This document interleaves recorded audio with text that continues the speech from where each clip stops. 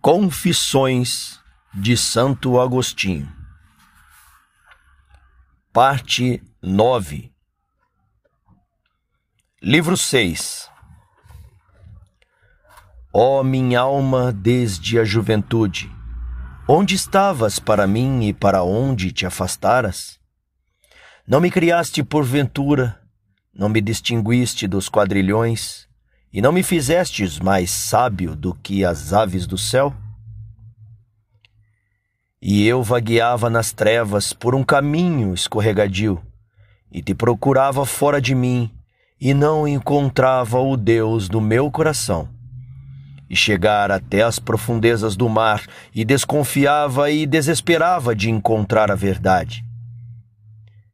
Já viera a mim, minha mãe, forte de devoção, seguindo-me por terra e por mar, e segura de ti entre todos os perigos. Com efeito, mesmo nas adversidades da navegação, era ela que tranquilizava os marujos pelos quais os viajantes angustiados, inexperientes do abismo, costumavam ser tranquilizados. Ela lhes prometia chegar a salvo, porque tu lhe prometeras em visão. E certamente, quando ela se juntou a mim, eu corria um grave risco, pelo desespero de buscar a verdade. Contudo, ao lhe comunicar que já deixara de ser maniqueu, mas tu não me tornara cristão católico, não teve como quem ouve algo inesperado um sobressalto de alegria, porque eu já estava salvo daquela parte da minha miséria pela qual, diante de ti, me chorava como morto, ainda que ressuscitável, e pela qual te apresentava o fétero, féretro de seu pensamento, para que dissesses ao filho da viúva: Jovem, eu te digo, levanta-te. E ele revivesse e começasse a falar, e tu o entregastes à mãe.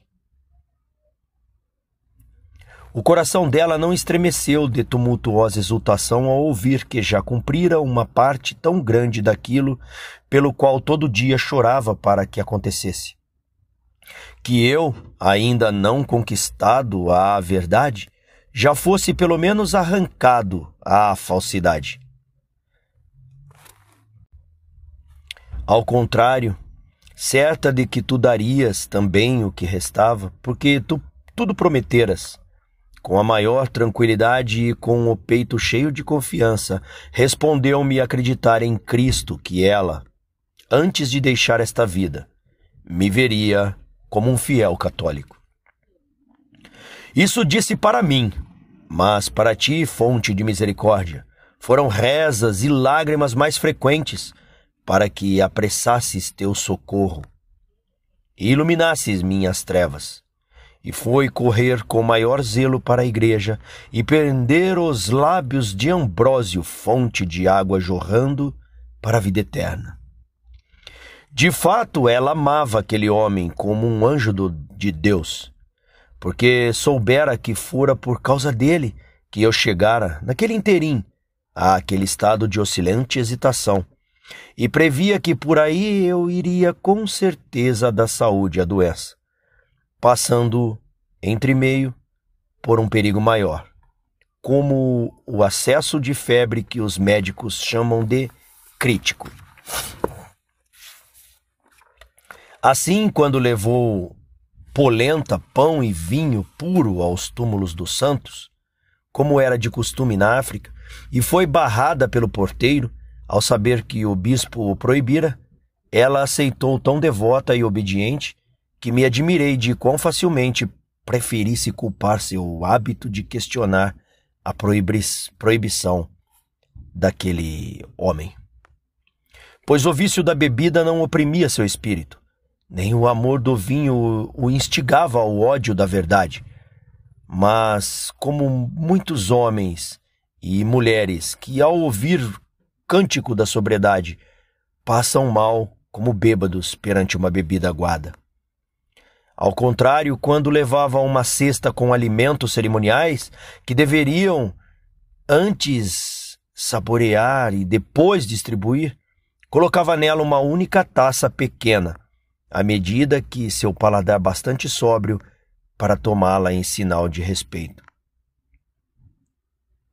Se houvesse muitos túmulos de santos a serem honrados daquela maneira, fazia circular sempre a mesma taça, que colocava em todos os lugares, de maneira que o vinho ficava não apenas aguadíssimo, mas também muito morno, quando compartilhava com seus próximos em pequenos goles.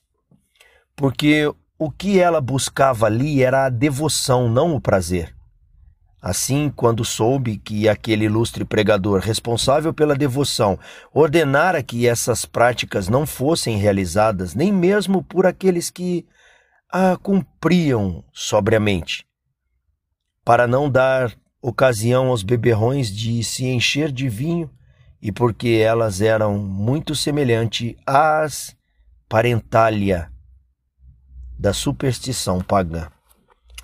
Ela se absteve, com muita boa vontade, e se costumou levar ao túmulo dos mártires, em vez de uma cesta cheia de alimentos terrenos, um coração cheio de oferendas mais puras, distribuindo aos necessitados o que podia e celebrando ali, dessa forma, a comunhão no corpo do Senhor, a imitação de cuja paixão os mártires se imolaram e foram coroados.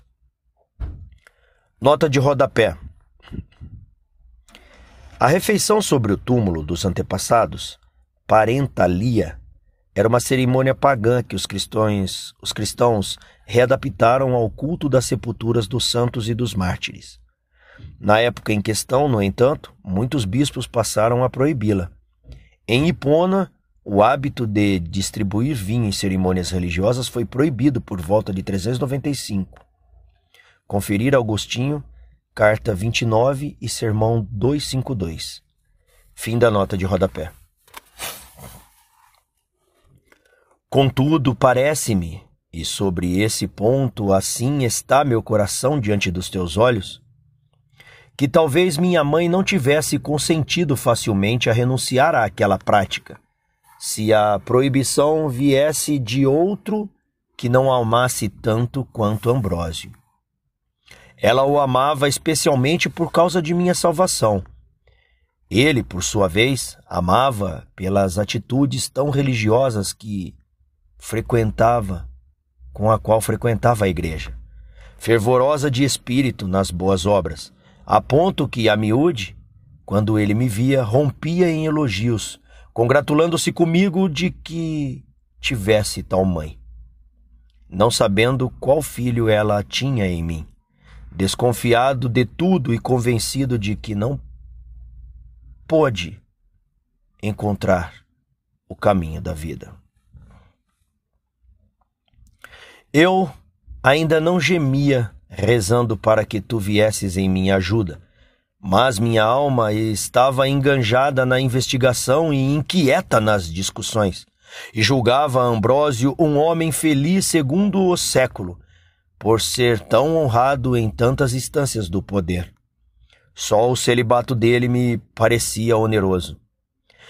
Mas que esperança cultivava, que lutas enfrentava contra as tentações de sua própria excelência, ou que consolações encontrava nas adversidades, e quantas saborosas alegrias do teu pão mastigava a boca oculta que estava em seu coração. Disso eu não tinha experiência, nem sabia imaginá-lo. Ele tampouco conhecia meus ardores ou a fossa do meu perigo. Com efeito, eu não podia perguntar a ele o que queria como queria, porque multidões de homens preocupados, cuja, cujas aflições ele atendia, me separavam de seu ouvido e de sua boca.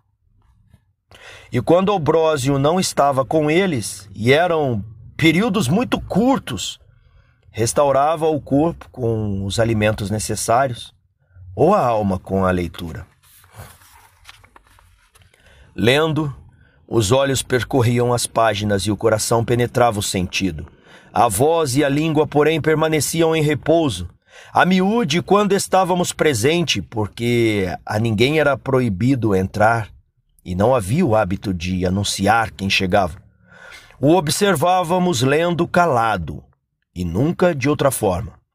Sentávamos-nos ao longo, aos, em longos silêncios. De fato, quem ousaria importunar um homem tão concentrado?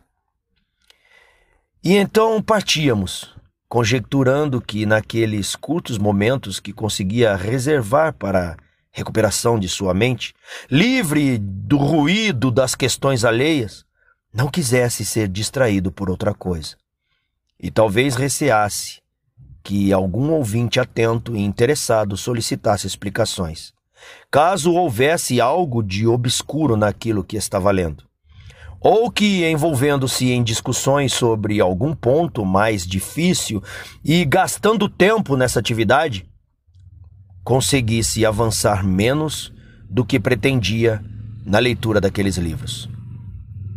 Se bem que o objetivo de poupar a voz, que nele ficava rouca muito facilmente, poderia ser mais condizente com a leitura silenciosa. Contudo, qualquer que fosse a intenção ao agir assim, vindo daquele homem deveria ser boa. Nota de rodapé. Os antigos costumavam ler em voz alta, mesmo quando sozinhos. Esta é uma das primeiras testemunhas de leitura silenciosa na cultura ocidental.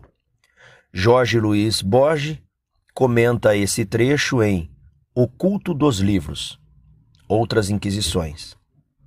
Fim da nota de rodapé. Mas o fato é que eu não tinha oportunidade de interrogar aquele coração, oráculo teu tão santo, sobre assuntos que desejava, senão por questões que podiam ser atendidas rapidamente. Minha ansiedade precisava encontrá-lo totalmente ocioso, para que pudesse desafogar nele, mas isso nunca acontecia.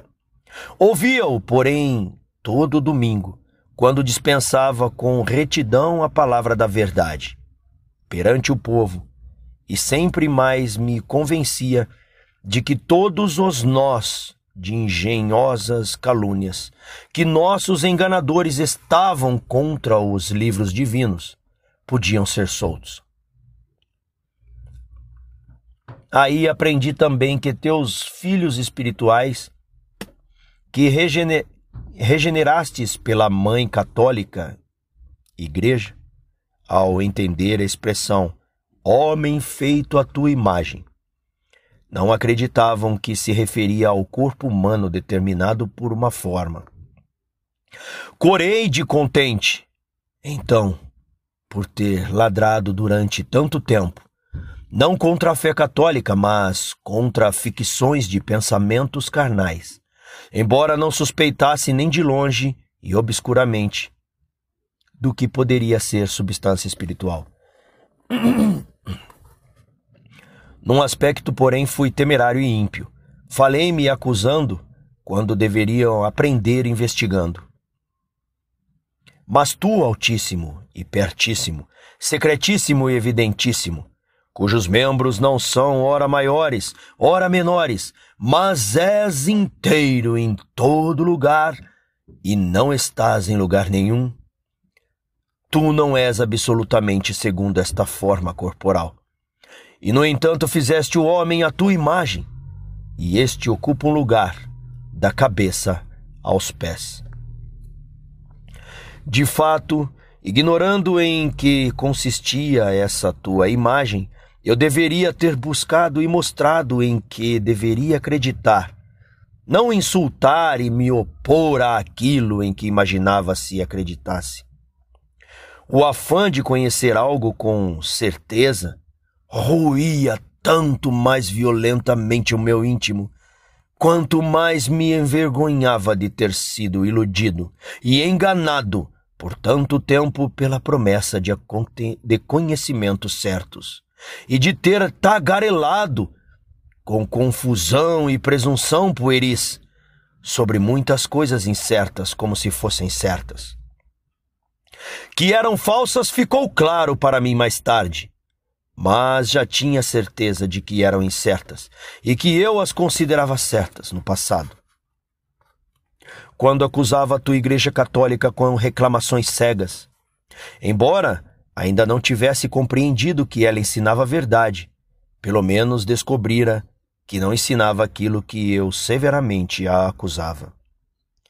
Assim ficava perturbado, mudava de rumo e me alegrava, meu Deus, de que é a única igreja, o corpo de teu único filho, na qual me foi revelado quando criança o nome de Cristo, não fosse imbuída de infantilidade, e que em sua sã doutrina não constate, não constasse que tu, Criador de tudo, estivesses relegado na extensão de um lugar, ainda que altíssimo e amplo, mas mesmo assim delimitado por toda parte pela figura de membros humanos.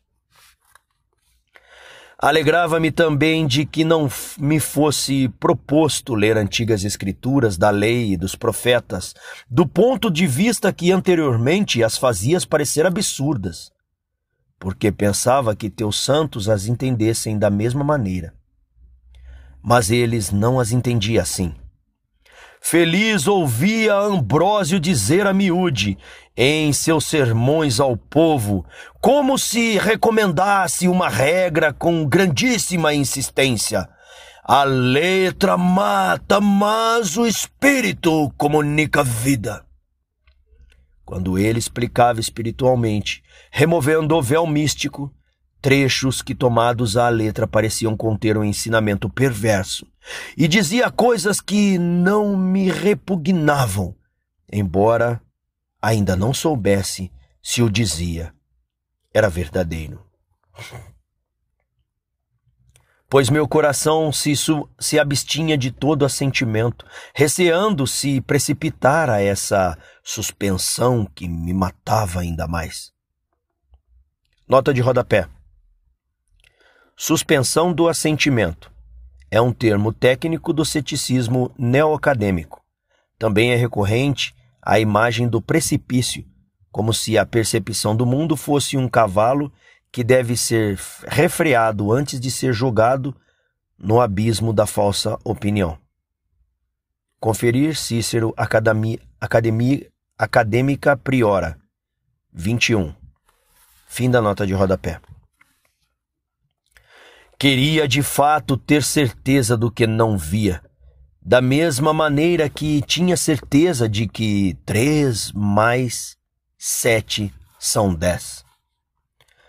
Não era insano de julgar que nem mesmo isso pudesse ser conhecido, mas queria que fosse conhecido da mesma forma também o resto, tanto as realidades corporais que não estavam ao alcance dos meus sentidos, como as realidades espirituais que não sabia pensar senão corporalmente.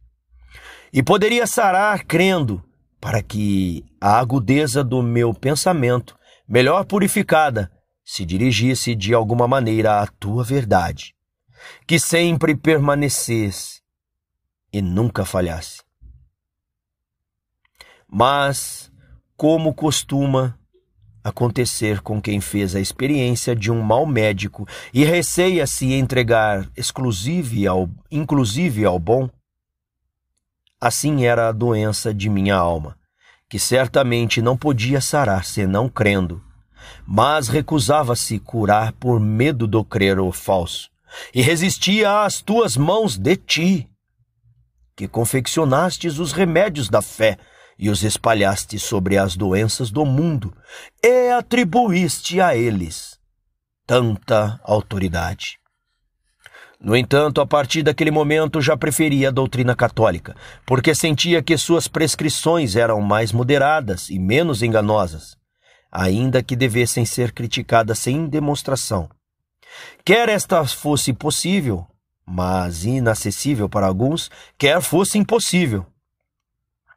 Enquanto a Lures, a crença era posta em ridículo pela promessa temerária de uma ciência e em seguida ordenava-se crer em muitas coisas totalmente absurdas e fabulosas, porque era impossível demonstrá-las.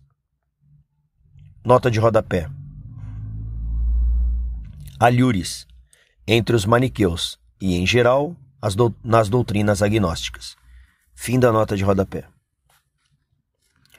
Tu então, Senhor, moldando e recompondo meu coração com mão delicadíssima e misericordiosíssima, fazendo com que ponderasse que acreditava em inúmeras coisas não vistas, ou cujo acontecimento não presenciara. Muitos fatos da história dos povos, muitos aspectos de lugares e cidades que não visitara, muitas coisas ditas por amigos, por médicos, por este ou aquele homem, por causa das quais, se não acreditássemos delas, não faríamos absolutamente nada nesta vida. E finalmente, que tinha por certo, com fé inabalável, de quais pais eu nascera, embora não pudesse sabê-lo se não acreditasse no que ouvira. Tu então me convenceste de que não aqueles que acreditaram em teus livros, que quiseste se firmassem com tanta, com tamanha autoridade entre quase todas as gentes, mas aqueles que não acreditaram deveriam ser culpados e não deveriam ser ouvidos se por acaso me perguntassem: De onde sabes que aqueles livros foram oferecidos ao gênero humano pelo Espírito do único Deus verdadeiro e veracíssimo? Isso mesmo, era necessário acreditar sobretudo, porque nenhuma hostilidade de questionamentos caluniosos, de tantos que lera em filósofos conflitantes entre si, pudera alguma vez me forçar a não crer que és tu, embora não soubesse o que és, e que o governo dos homens te pertence. Acreditava nisso às vezes com mais força, às vezes mais debilmente. Todavia sempre acreditei que tu és e que te ocupas de nós, embora ignorasse o que se deveria pensar da tua substância, ou qual via conduzia ou reconduzia a ti. Assim como somos incapazes de encontrar a verdade por evidência racional e, por consequência, precisamos da autoridade das sagradas Escrituras, já comecei a acreditar de que forma alguma terias atribuído uma autoridade tão proeminente àquelas Escrituras pelo mundo todo, se não quisesses que acreditássemos em ti e te, buscar, te buscássemos por meio delas. Com efeito, a absurdidade que costumava me incomodar naqueles livros, após ter ouvido muitos trechos deles explicados de maneira plausível, já atribuía à profundeza dos mistérios, e por isso aquela autoridade me parecia ainda mais venerável e digna de fé sacrossanta, porque era apropriada à leitura de todos, e ao mesmo tempo reservada a dignidade de seu segredo para uma compreensão mais profunda, oferecendo-se a todos pelas palavras claríssimas e o mais humilde gênero da expressão, mas atiçando a atenção daqueles que não têm coração leve, acolhendo em teu seio todas as pessoas do povo, mas por aberturas estreitas, trazendo para ti uns poucos. Muito mais numerosos, no entanto, do que seriam se a excelência daquela autoridade não se sobressaísse tanto e não atraísse as multidões para o colo da santa humildade. Refletia sobre isso, e tu estavas juntos de mim. Suspirava e tu me ouvias, hesitava e tu me guiavas. Ia pelas largas estradas do século, e tu não me abandonavas. ambicionava honras, lucro, matrimônio, e tu rias de mim. Experimentava-me, experimentava nesses desejos dificuldades amaríssimas, e tu me eras tanto mais propício quanto menos deixavas que fosse doce aquilo que não eras tu. Vê meu coração, Senhor, que quiseste que eu lembrasse isso e o confessaste a ti. Agora adere a minha alma, que liberaste de um visco tão pegajoso de morte. Como ela era miserável! E tu a pungias onde a ferida era sensível, para que, abandonando tudo, ela retornasse a ti, que estás acima de tudo, e sem a qual tudo seria nada, para que retornasse sarasse. Como eu era miserável! E de que maneira fizeste com que sentisse minha miséria naquele dia, quando me preparava para declamar o elogio do imperador? Nota de rodapé. Provavelmente um panegírico a ser pronunciado em 22 de novembro de 385, por ocasião do décimo aniversário do reino de Valentiniano II. Fim da nota de rodapé. Elogio do imperador, em que diriam muitas mentiras e mentindo ganharia a aprovação dos entendidos, e essa preocupação tornava meu coração ofegante e quente de febre pelos pensamentos que me consumiam. E eu então, passando por uma ruela de Milão, vi um pobre mendigo, já completamente bêbado, acredito, que cantava e ria. Lamentei, falando aos amigos que estava comigo, as muitas dores de nossas loucuras, porque com todos nossos esforços, como aqueles com que então me atribulava, arrastando o fardo de minha infelicidade sobre o aguilhão da cobiça e aumentando ao arrastá-lo? Nada mais queremos senão chegar a uma felicidade serena, na qual aquele mendigo, nos precedera. E talvez nunca o alcançássemos. Pois aquilo que ele conseguira em poucos trocados de esmola, isto é, a alegria de uma felicidade terrena, eu o procurava por percursos tortuosos e cansativos. E por certo ele se alegrava. Eu estava ansioso. Ele era sereno, eu trepidante. E se alguém me perguntasse se eu preferia ficar alegre ou sentir medo, eu responderia ficar alegre. Por outro lado, se me perguntassem se preferia ser como ele ou como eu era então, eu, ainda que assoberbado por preocupações e temores, teria escolhido a mim mesmo. Mas por raciocínio errado. E como poderia ser verdadeiro? Pois não deveria me preferir a ele por ser mais instruído? Porque não sentia prazer por isso, mas queria agradar aos homens, e não para instruí-los, mas apenas para agradar. Eis porque tu, com vara do teu ensino, esmigalhava meus ossos. Afastem-se de minha alma aqueles que dizem: mas a diferença está no motivo da alegria. Aquele mendigo gozava da embriaguez, tu querias gozar da glória. Que glória, Senhor? Aquela que não está em ti. Com efeito, assim como não era a verdadeira a felicidade, também não era a verdadeira glória, e pervertia ainda mais minha mente. Naquela mesma noite, a ebriedade dele teria evaporado. Eu dormiria e me levantaria, e dormiria de novo e me levantaria de novo com a minha. Por quantos dias? Mas a diferença está no motivo da alegria. Eu sei. E a alegria da esperança do fiel está na distância incomparável daquela ebriedade vazia. Mas naquele momento também havia distância entre nós, e ele era mais feliz, sem dúvida, não apenas porque transbordava alegria, enquanto eu era dilacerado por preocupações, mas também porque ele ganhava o vinho agurando o bem, enquanto eu buscava vanglória mentindo.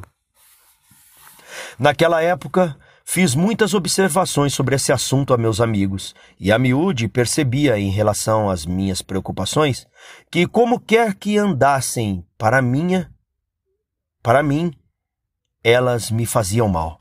Assim entristecia-me e redobrava-me naquele mesmo mal. E se algo favorável se me apresentasse, aborrecia-me agarrá-lo, porque apenas obtido já se esvaía. Queixava-me com aqueles com que convivia amigavelmente e conversava sobre tudo e mais intimamente esses assuntos com Alípio e Nebrídio. Nota de radapé. Alípio foi um dos amigos mais próximos de Agostinho, seu interlocutor em alguns diálogos juvenis e em várias cartas.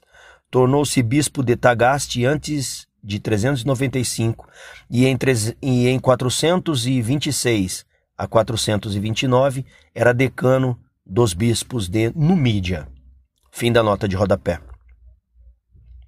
Dos dois, Alípio nascera na minha cidade onde seus pais eram personalidades importantes.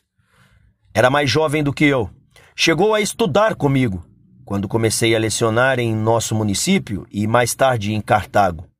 Gostava muito de mim porque me achava boa pessoa e erudito, e eu dele, pela inclinação que demonstrava pela virtude, apesar da idade pouco avançada. Mas a voragem dos hábitos cartaginenses nos quais borbulhavam os espetáculos frívolos, o atraiu para a mania dos jogos circenses. No entanto, na época em que ele se envolvia miseravelmente neles, e eu ensinava retórica na escola pública, ele já não assistia a minhas aulas, por causa de uma desavença que surgira entre mim e seu pai. Eu sabia de sua ruinosa paixão pelo circo, e me afligia gra gravemente, porque julgava que um jovem tão promissor se perderia, ou talvez já tivesse se perdido. Mas não havia como eu pudesse admoestá-lo pela benevolência da amizade ou retê-lo pela autoridade do magistério.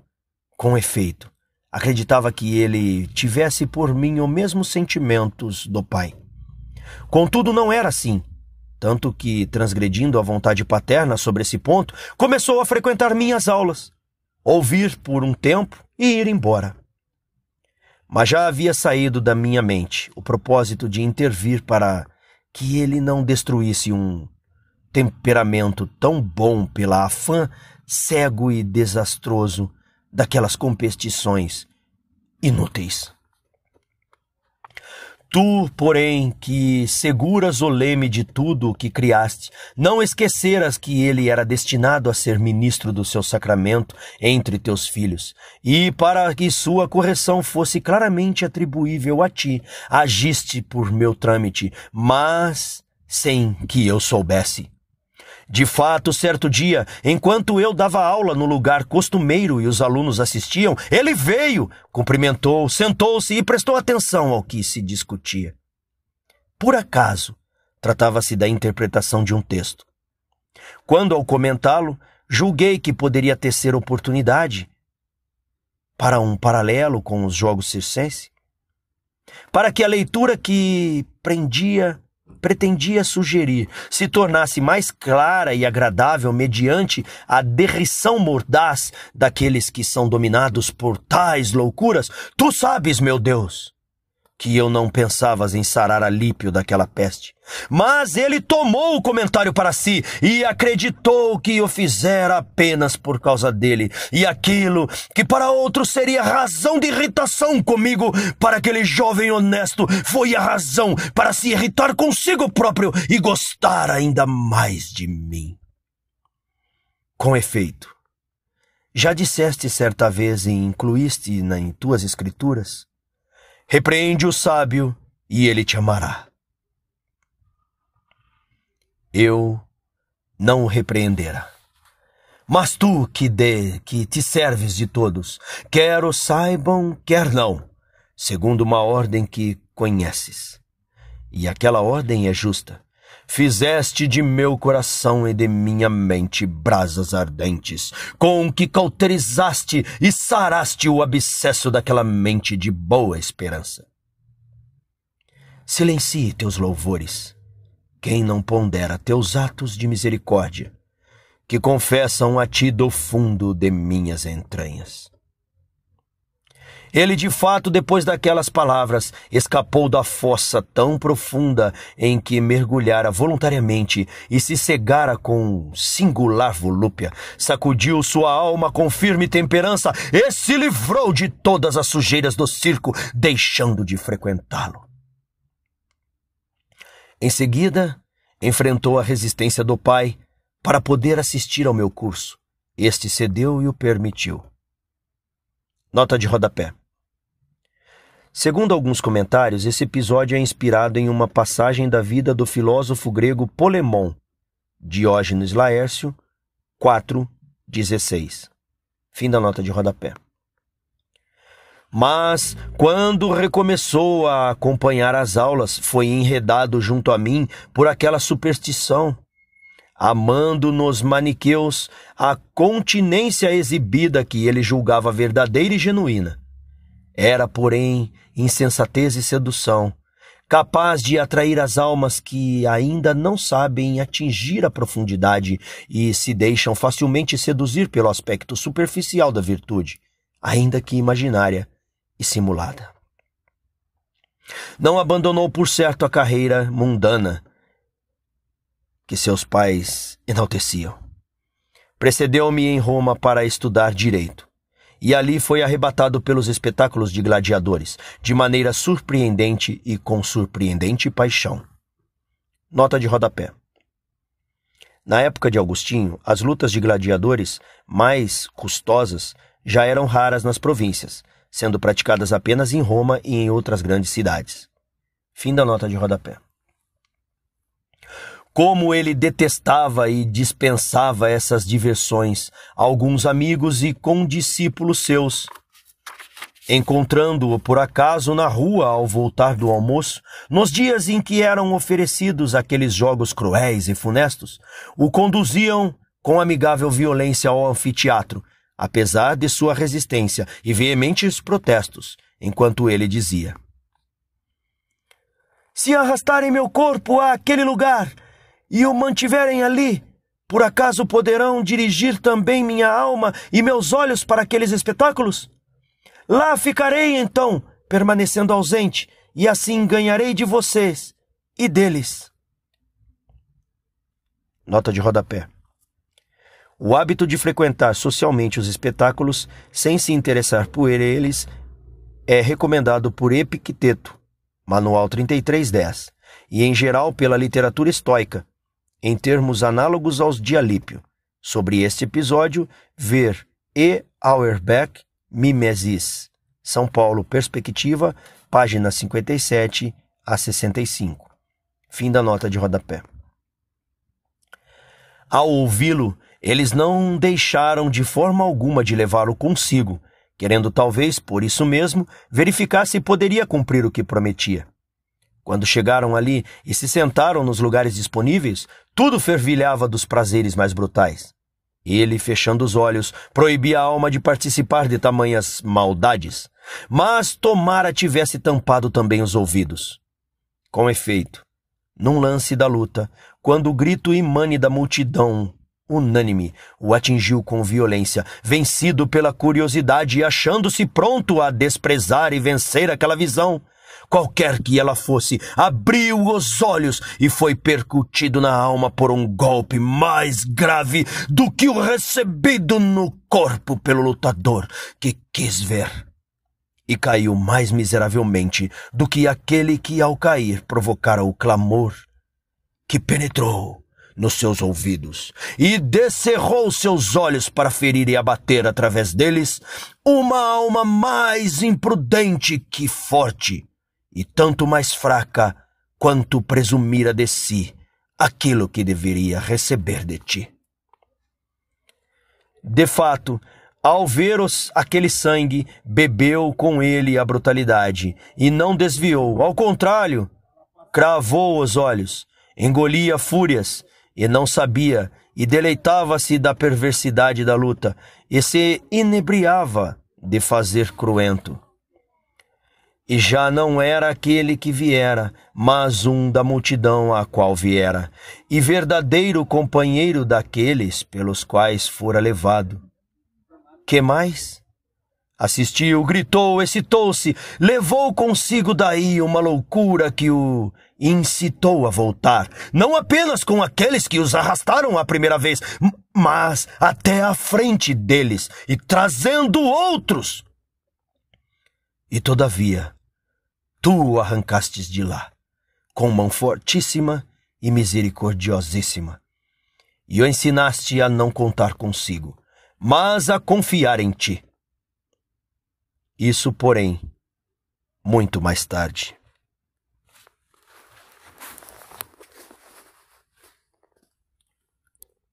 Continua no próximo capítulo.